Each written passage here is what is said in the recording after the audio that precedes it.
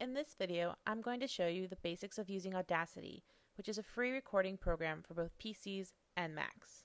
When you first open Audacity, you'll see this help box, which you might find useful for advanced features not discussed here or additional help. There are just three steps you need to know record, edit, and export. To start, save the project on your desktop. This will create two separate files that you have to keep together while you're working in Audacity. At the top, you'll see the six common recording buttons pause, play, stop, rewind, fast forward, and record. These are all you need in order to get started. Check that the microphone you want to use is selected, either the built-in mic or USB plug-in type. In a quiet location, when you're ready, press record and start reading. Press stop when you're done reading, and then play to listen to how it sounds. It may take you a few times to get a reading that you like, so one way to make this easier is to briefly pause after each paragraph. There are two types of editing. The first is editing as you go. If you don't like the first paragraph reading, press the X to delete the track and try again. But if you like the way your paragraph sounds, click just past where your paragraph ended, then press record. This will start recording on another track line so that you can practice your paragraph before putting it in to the top track, which will be one continuous reading of your piece. If you don't like the reading of your next paragraph, delete it here. But once you like it, highlight and then go to Edit, Copy, click at the top where you want it to go, Edit, Paste. Now you have your paragraphs so they flow together. Once you're done with that track, delete it, click to the end, and press record to start recording your next paragraph. Keep working through your piece until you have one continuous reading. The second type of editing is editing at the end.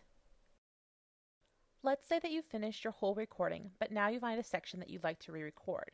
One easy way is to first note the beginning and end time of the section you'd like to re-record. Then scroll to the end of your piece and re-record the paragraph as before. When you're satisfied, stop, go back to the section you, you like to delete, highlight, press the delete key, then go back to the track, highlight, copy, click, and paste then delete the spare track. Now that you've got your reading done, go through and trim out those extra long pauses by highlighting and then pressing the delete key. But one trick is to highlight and then press the letter C. Doing this will give you a preview of what your cut will sound like. Readjust the highlighting until it's just how you like it and trim between all of the different paragraphs. After you've trimmed all your paragraphs, Listen to your audio a few times for good flow. When you're done, click on Effects up at the top and choose Compressor. Doing this will help normalize the volume of your reading.